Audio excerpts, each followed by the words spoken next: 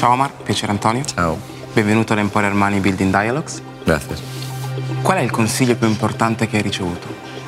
Eh, creo que el, el consejo de saber estar aquí, aquí, aquí o aquí es probablemente el, el mejor consejo que me hayan dado. Che consiglio daresti alle nuove generazioni che sperano di realizzare i loro sogni? que vayan a por ellos.